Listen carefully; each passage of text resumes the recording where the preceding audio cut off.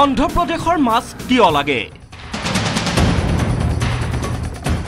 কাৰ স্বাৰ্থত অসমলৈ আহে অন্ধ্ৰৰ চালানী মাছ? অন্ধ্ৰৰ আমদানিকৃত মাছত বিষাক্ত ফৰ্মেলিন থাককেই বা নাথাকক দেশৰ ভিতৰতে ৰাজ্যত আছে সৰ্বাধিক জলাশয়। ৰাজ্যৰ পৰ্যাপ্ত বিল পুখুৰীত থলুৱা মাছৰ উৎপাদনেৰে কিয় ৰাজ্যৰ মাছৰ চাহিদা পূৰণ কৰিব পৰা নাই? মীন বিভাগে। অসমত আছে দুশ সোতৰটা প্ৰজাতিৰ মাছ।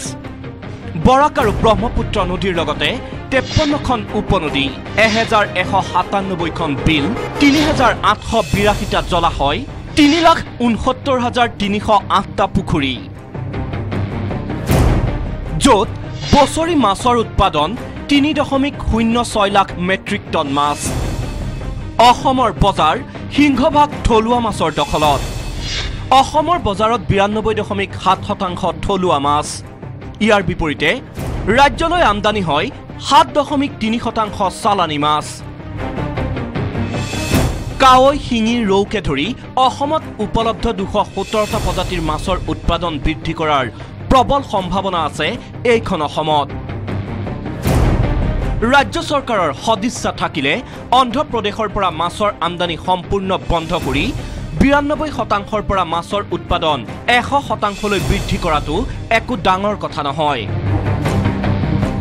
বিয়াগুম মীন বিভাগটোৱে বিজ্ঞানসন্মতভাৱে অসমৰ থলুৱা মাছৰ উৎপাদন কৰিলে বহিৰাজ্যলৈও বিপুল সংখ্যক মাছৰ ৰপ্তানি কৰিব পাৰিব অসমে। ইয়াৰ বাবে লাগে মাথো ৰাজ্য চৰকাৰৰ সদিচ্ছা। বিগত বৰ্ষবোৰৰ তুলনাত যদি চোৱা যায় দুহেজাৰ চৈধ্য পোন্ধৰ চনত অসমত মাছৰ উৎপাদন দুই দশমিক আঠ দুই লাখ মেট্ৰিক টন। দুহেজাৰ পোন্ধৰ ষোল্লত দুই দশমিক ন চাৰি লাখ মেট্ৰিক টন। দুহেজাৰ ষোল্ল সোতৰত তিনি দশমিক শূন্য ছয় লাখ মেট্ৰিক টন। পূৰ্বৰ তুলনাত বৃদ্ধি পাইছে ৰাজ্যত থলুৱা মাছৰ উৎপাদন। এয়া নিতান্তই ইতিবাচক। কিন্তু কথা হ'ল একাংশ মধ্যভোগী দালাল আৰু পকেট গৰম কৰাৰ স্বাৰ্থত ব্ৰতি থকা জনপ্ৰতিনিধিৰ পৰা চৰকাৰী ব্যাগুম বিষয়াৰ বাবেই অসমে এতিয়াও অন্ধ্ৰৰ পৰা অহা অস্বাস্থ্যকৰ মাছৰ ওপৰতে কৰি থাকিবলগীয়া হৈছে ভৰসা। অসমত থকা খাল বিল নদী আৰু জলাশয় মিলাই বছৰি উৎপাদন হয় প্ৰায় তিনি লাখ মেট্ৰিক টন মাছ। আৰু এই থলুৱা মাছ ইমানখিনি উৎপাদন হোৱা স্বত্তেও অন্ধ্ৰৰ পৰা আহে প্ৰায় বাইছ হাজাৰ মেট্ৰিক টন মাছ। এতিয়া কথা হ'ল ইমানবোৰ বিষাক্ত অন্ধ্ৰৰ পৰা মাছ অনাতকৈ অসমৰ ৰাইজক খুৱাব পৰাকৈ থলুৱা মাছ আৰু উৎপাদন কৰিব নোৱাৰি নেকি?